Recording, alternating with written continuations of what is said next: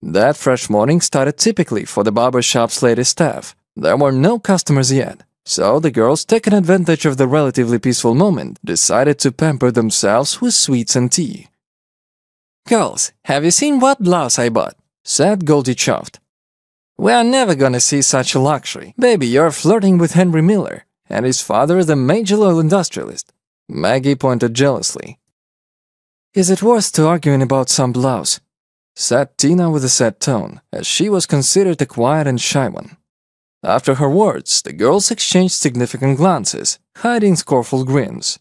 The thing was that they knew about the fact that Tina grown up in the orphan house, and the only family of her was her cat Thomas. The orphan girl had never seen her parents. Tina's childhood wasn't really happy. Dreaming of the parents' care, little girl asked Santa Claus the same thing all of the time, the little Tina didn't ask for toys and sweets as many orphan kids did. That girl dreamed that one day, new parents would adopt her into their family. However, years passed and nothing changed in Tina's life. Growing up, she left the orphanage, which had become home and replaced family for her. The girl didn't have to wonder about her profession. After hairdresser courses, she got a job at a barber shop. Those giggle gossip girls were her friends for a long time, but they reluctantly included Tina in their social circle. They bragged about new clothes, as if they didn't notice Tina wearing the sell-off outfits. The gossip girls laughing at her had no doubt that Tina would live in the slums forever. Suddenly, a sharp sound of the open door interrupted the joyous gossip chatter. Girls instantly turned to see their first customer. The most amazing about it was the fact that the first customer was an old man with long, falling below ear gray hair. His clothes were old, but seemed to be clean and neat. Shuffling his trampled shoes and squinting blindly, the old man walked inside. Coughed humbly, the stranger asked the girls, Good day. Uh, can I have a haircut, please? No, sorry, it's a trend barber shop. Here we work with appointments and reserved for a month forward. Goldie lied easily. How so? You must not think. I didn't come just like that. I have money with me said the old man confusedly, twirling his crumpling baseball hat with a broken half cap in his hands. Hey man, you being too pushy for a street beggar, Goldie answered. Tina was embarrassed about that, so she turned to the window blushing.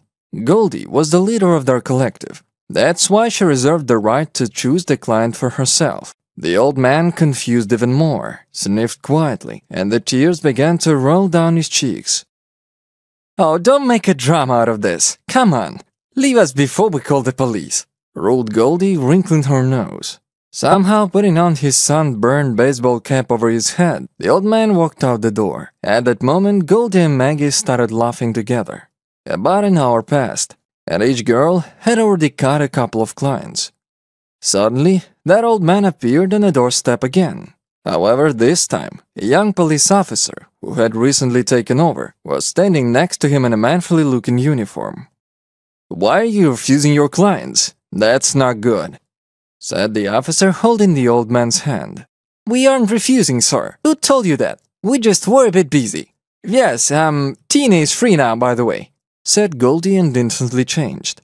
Well, okay, I'll leave you then. Mr. Bennett, I still have some stuff in the office said the officer goodbye. Taking the comb and scissors, Tina was waiting patiently for the old man sitting down in a chair. Maggie and Goldie were grinning snagly, whispering behind her back. Look, Tina finally found her regular customer. Missing around and unwashed gray hair is just her level. The girl, not paying any attention to the snide laughter of colleagues, gave the old man's hair a normal look. My name is Henry Bennett, ma'am. Why did your colleagues lashed out of me? Fortunately, I met the police officer, Bill White. He heeded my request. The old man said, I don't know, Mr. Bennett. Maybe they're in the mood today. I'm sorry for them, said the embarrassed girl. A half an hour passed, and Tina had almost finished the work. It will be $30, Mr. Bennett, Tina said, smiling and looking at the result of her work with satisfaction. Paying the check, the old man left generous tip. After that, he said goodbye gently and went from the salon. Working hours were taking long. To everyone's surprise, there were a lot of clients today, so the hairdresser sighed with relief when the shift finally ended. Walking out of the barber shop, Tina noticed the same old man who visited their salon that morning. He was obviously waiting for somebody and hesitantly trampling his feet. When he saw Tina, he came forward and, holding her by the elbow, said in despair, Could I make the request, ma'am? I can't do it by myself. I need your help. Tina looked into the old man's eyes and saw tears in them. Listening to her intuition, the girl realized that he really was in a difficult life situation. Okay, sir, I'll go. If that's the case. Tina answered and holding the old man's hand headed to his house. As it turned out, he lived in a tiny house nearby. Entering inside, Tina was stunned to see a cradle in the living room, in which the twin babies were peacefully sleeping. When he caught guests' surprised eyes, Henry Bennett hurried to say that those children were Amanda's, his granddaughter, who led a very frivolous lifestyle. Amanda's mother died in childbirth. Unfortunately, her grandparents, no matter how hard they tried, couldn't inculcate her to love the normal people values. That's why the girl grew up burn and used to act only in her own way. Amanda left the children to me, and together with some biker moved to California. Apparently I've missed something in her nurturing. It's upsetting, because I've been working as a school teacher for about 40 years myself, and a week ago I've got a phone call from police. She died. Said the old man sobbing. I won't manage it alone. I'm afraid if I die, I leave these children without any person here. They must never get into the orphanage. It isn't a good place. I can give you money for the first time. Trust me. Mr. Bennett asked, looking at the Tina's eyes hopefully. Don't worry, Mr. Bennett. I need no money. Not at all. Of course I'll try to help you. Answered Tina, tried to calm the old man down. She understood that an elderly man with two children in his arms would be extremely difficult. You know what, Mr. Bennett? I'll go to the police tomorrow. Maybe Bill White could help us for registration of guardianship. He's obviously much more powerful here, Tina suggested. Fortunately, Billy White turned out to be a sympathetic person with a big and kind heart. He actually helped Tina with collecting necessary documents. On the way to Henry Bennett's home, he tried his best to support the girl who decided to do such a responsible thing. Tina knew what kind of place the orphan house was, and she absolutely didn't want those children to face all the hardships and losses of orphan life. Therefore, she calmed the old man and reassured him that she wouldn't leave him in such situation.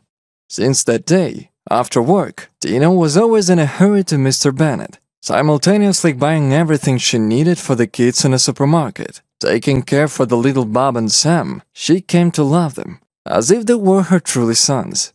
With Mr. Bennett's consent, Tina still applied for custody of the children. Billy White, for his part, was doing everything to speed up this process and help the old man with that problem. One day, Mr. Bennett, with a mysterious grin, suggested Tina and Bill to move into his house. What? It will be even better this way for the kids mainly. They certainly need parental care now, the old man said in a tone that tolerating no objections. Young people somehow at first refused and embarrassed to look into each other's eyes. Actually, deep inside, them both had fell for each other, but were scared to admit it to themselves. Time passed. Slowly, pulled together with shared problems and growing chemistry between them, Tina and Billy became closer and considered themselves a couple. Mr. Bennett understood everything, and likely smiling, was glad for both of them. Although recently, there have been fewer reasons for a good mood. The old man's health was rapidly deteriorating, so Mr. Bennett was waiting his own death. Henry Bennett passed away in spring, only three days short of his 70th birthday. His death was a big blow to Tina and Billy, who considered the old man a friend, a father, and in some ways even a teacher. By that time, young people were in a relationship, which revolving gradually and seamlessly. A year after the death of Henry Bennett, Billy did a proposal to his beloved. Tina, clutching Bobby and Sam to her, of course agreed. The orphan girl finally felt the true happiness because since that moment, she had a husband and children who loved her. And six months after the wedding, Tina left the hairdresser's right on maternity leave. Former colleagues enviously looked after her,